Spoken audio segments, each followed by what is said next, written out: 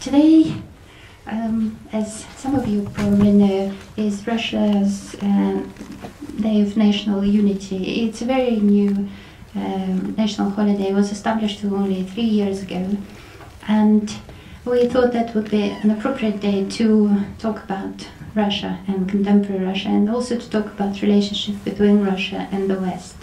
So we decided to gather this wonderful panel of people and uh, ask them question, uh, just one question, why uh, they think the perception of Russia itself is so dramatically different from what the West thinks of Russia and how the West perceives Russia. In general, uh, cinema reflects image of each country, and sometimes it's not. Uh, um, it does not correspond the real picture of the country because um, each cinema, each film is a subjective view. It's not just a reflection. It's just a, it's not a mirror. It's a mirror, but it's not a direct mirror. It's a mirror uh, in the light of uh, art, of um, subjective view, and even if it is a strict documentary, anyway, it's an act of um, creation. Uh, so the image is is never equal to the subject. В России такая ситуация любопытная с документальным кино, что если картина имеет международный успех, показывается за пределами России по телевидению или на фестивальных экранах, то в России это воспринимается некоторым образом, сообществом некоторым образом как производство фильмов на экспорт, искажающих, что ли, так сказать, истинную российскую жизнь. Я хотел бы просто обозначить ситуацию в двух словах.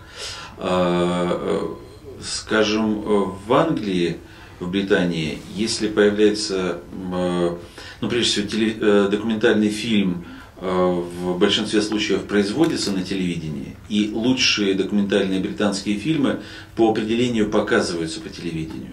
В России абсолютно зеркальная ситуация.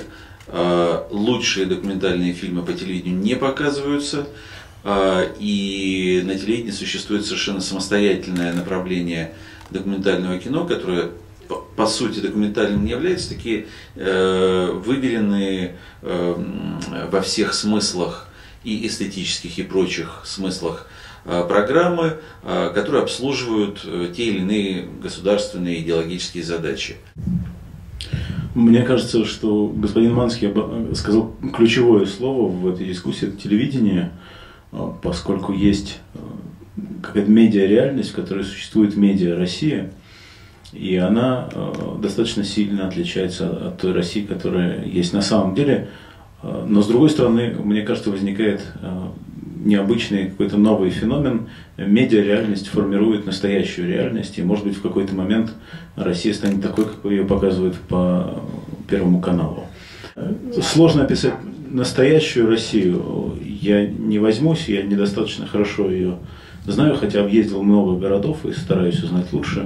Я думаю, это почти невозможно, поскольку для описания настоящей России надо ставить не две восьмерки, а одну после слова Россия и перевернутая. Это бесконечность. А, не хочется, чтобы э, эта дискуссия была воспринята как критика России перед западными слушателями, поскольку есть и ужасные вещи, есть и прекрасные вещи, о чем э, господин Манский тоже э, успел сказать до меня. А, но очевидно, что есть некоторые запретные темы, которые педалируются на Западе и, наоборот, нивелируются у нас в стране. Одна из таких тем – это ксенофобия и разные ее проявления. Другая тема – это коррупция, сращивание криминала с властью. Еще можно набросать, наверное, с десяток тем неудобных, э, острых, э, которые а, вот э, их какой-то более-менее объективной подачи не существует, как мне кажется. Есть есть сторонники, есть противники, и в любом случае есть какой-то перекос, и какая-то Россия все время выходит кривобокая. The media, and particularly the news media, who's the one to blame because we're the ones who promote stereotypes. Um, I was very interested in the way this conversation has turned which is about documentary films and myths. You know, is documentary films really about fiction? Because we've just watched your film, which was, as it's described in the programme, a mockumentary. That's to say, it was fiction, but pretending to be real, which for me underlines a very important point, which is I don't think there is a distinction. Whenever you show Russia as ordinary, people lose interest here. And I, I can only say I've been in an edit in a film which um, is taking place in, in a pretty remote part of Siberia.